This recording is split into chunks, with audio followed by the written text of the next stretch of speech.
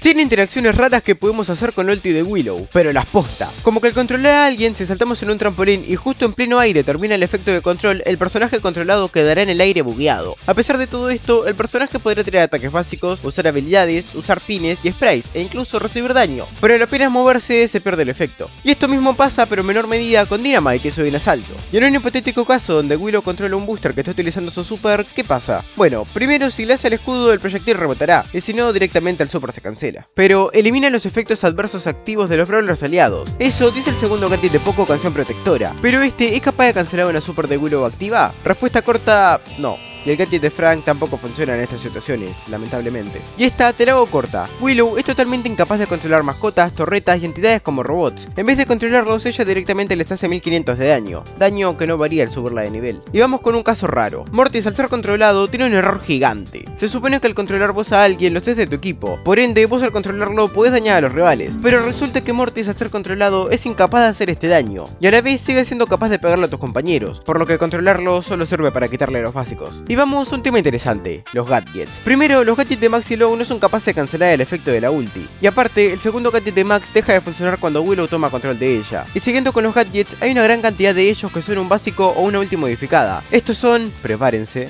el segundo gadget de Shelly, el segundo gadget de Colt, el segundo gadget de Brock, el segundo gadget de Dina, el primer gadget de Tick, el segundo gadget de Chobit, el segundo gadget de Rico, el primer y el segundo gadget de Carl, el segundo gadget de Ems, el segundo gadget de Pam, el segundo gadget de Frank, el segundo gadget de Vivi, el segundo gadget de Griff, el segundo gadget de Grom, el segundo gadget de Mr. P, el segundo gadget de Byron, ambos gadgets de Grey, ambos gadgets de Squeak, el segundo gadget de Sandy, ambos gadgets de Colette, ambos gadgets de Buzz, el segundo gadget de Colette, el primer gadget de Otis, ambos gadgets de Mandy y el primer gadget de Willow. Lo que pasa con ellos es que las sneak peeks de mi amigazo de Código 20. se veía como si se podían utilizar estos gadgets, pero actualmente en game podemos ver como cada uno de estos gadgets al ser controlados por Willow se pierden, y luego nunca vuelven. Prácticamente la ulti sirve para cancelar gadgets, pero hay dos excepciones, el segundo gadget de Bibi y el primer gadget de Buzz, los cuales no pueden ser cancelados ya que al controlar un brawler no sos capaz de utilizar ultis, y estos gadgets en vez de modificar básicos modifican ultis, es decir, se salvan al menos de ser cancelados. Y cambiando de tema, Willow al utilizar su ulti le recupera el controlado el 100% de su vida, en casi todos los casos. Uno de estos casos donde no ocurre esto es cuando Willow controla un rival envenenado, el cual por la pasiva del pájaro solo es capaz de recuperar un 60% de la pasiva del rival. Las otras tres situaciones son cuando está el modificador de tumbas malditas activo, cuando Willow controla un rival que tiene la ulti de Byron con primera Star Power activa, y cuando controlas al mecha de Meg, que tiene otras interacciones raras, como que si el mecha al que controlas recibe daño a un rival le quita el control a Willow, a la vez que cuando Meg se transforma y destransforma pierde el efecto de Willow, y hay más, ya que el mecha de Meg si tiene 1500 de vida o menos es incapaz de ser controlada por Willow, y al intentarlo lo que ocurre es que Willow no tiene su control, y a la vez le cura unos 1500 de vida aproximadamente. Con mi amigo Lucas hablamos de esto, y suponemos que el juego toma al mecha como una entidad, así como los robots, y le hace 1500 de daño al mecha, matándolo, pero sin matarlo realmente, y curándole parte de la vida. Y vamos a otro caso raro, y es que Willow al controlar un león invisible es incapaz de controlarlo siempre cuando no sea visible por su equipo, y para lograr esto el juego fuerza al león controlando acercarlo a Willow, aunque vos no realices ese movimiento. A la vez vos seguirás viendo tu pantalla, y con el tema de la visión mis aliados son capaces de ver al león, pero los rivales ya no. Esto es un hard counter directo, pero fácil de arreglar tirando un básico y cancelando la ulti.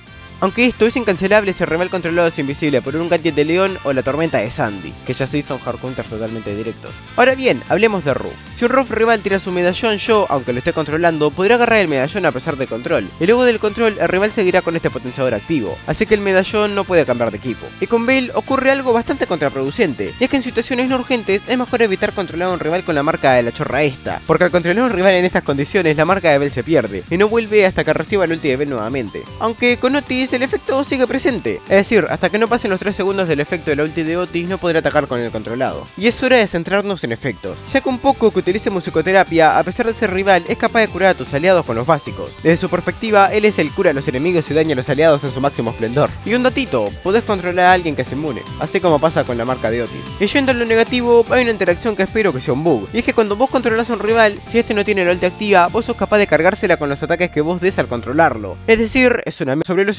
si Willow controla a alguien estuneado, no le podrá quitar el efecto. Y vamos a otro caso raro. Y ocurre con Lola, y es que si controlas una Lola con el ego activo, este tendrá un problema. Sí, los ataques que el ego lance son tuyos, pero el ego seguirá siendo rival, por lo que apenas se disparen estos ataques le pegarán al ego de forma instantánea, lo que se ve muy estúpido. Y una duda que todos tuvimos, ¿qué pasa si una Willow controla una Willow que está controlando a alguien? Simple y decepcionante. La Willow que está controlando a un tercero dejará de controlar y vos controlarás el cuerpo de la Willow, por lo que si 10 Willows se controlan entre sí, ninguna podrá moverse.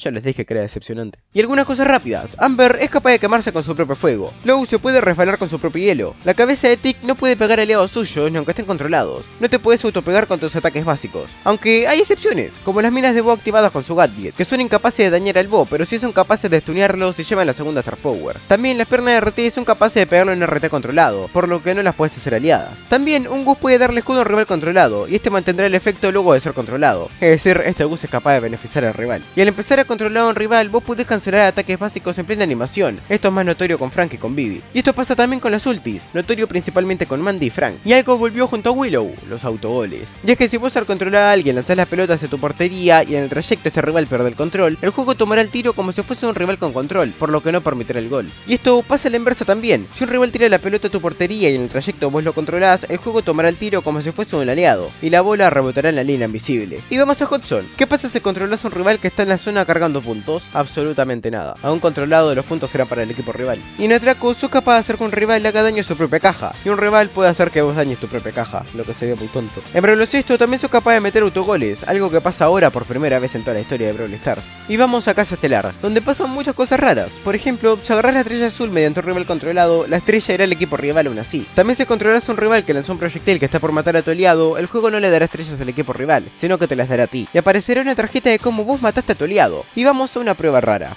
Al mover una Nani que está utilizando a Pip, ella deja de controlar a Pip, caso que no ocurre con Willow. Podemos decir que no cambia nada. Y algo visual que nunca viene mal es que si Willow controla a un enemigo que tiene el shard de escudo, su barra será totalmente negra. Y hablemos de un bug que deben arreglar. Y es que si controlas a alguien, luego del control siempre que este sea visible, vos podrás ver los mismos arbustos que este ve. Podrá parecer algo chico, pero también funciona contra los bugs que utilizan la primera habilidad estelar, lo que ya sí está muy roto. Y vamos a algo raro, y es que si vos controlas una PAM con la torreta activa, siempre que esta torreta esté dañada, esta empezará a curarse, siendo la única forma actual de curar estructura, sin contar el rebote electrizante de Jessie. Al controlar una Janet, sos incapaz de recibir el daño de su primer gadget, ya que sigue siendo un ataque propio. Y vamos a algo raro, si tenés un timing excelente, sos capaz de autoempujarte con Gale, lo que se ve muy piola. Y otra cosa rara con Gale, pero con su tornado, es que un controlado es totalmente inmune a este gadget. Y tal como pasa con la cabeza de Tick, mascotas como Scrappy, Bruce, el mortero de Penny, las ratas de Ash, las crías de Eve y los pingüinos de Mr. P no te atacarán si estás siendo controlado. Simplemente seguirán de largo y te ignorarán. Por otro lado, si sos un thrower y agarras la pelota en balón al estar siendo controlado, tu apuntado de balón será el mismo que el de tu ataques básicos normales, por lo que se podrá ver de esta manera, aunque el lanzamiento será totalmente normal. Y algo que puede ser bastante injusto es que una Eve controlada no se puede mover en el agua, y si la controlas cuando está fuera no podrás utilizar su atributo y pasar por encima del líquido. Eso quiere decir que lo más especial de Eve no lo vas a poder utilizar. Y bueno, eso es todo, lamento la inactividad de este mes de marzo, pueden ver más videos si quieren, recuerden suscribirse, antes de que Willow lo haga cuando los controla a ustedes.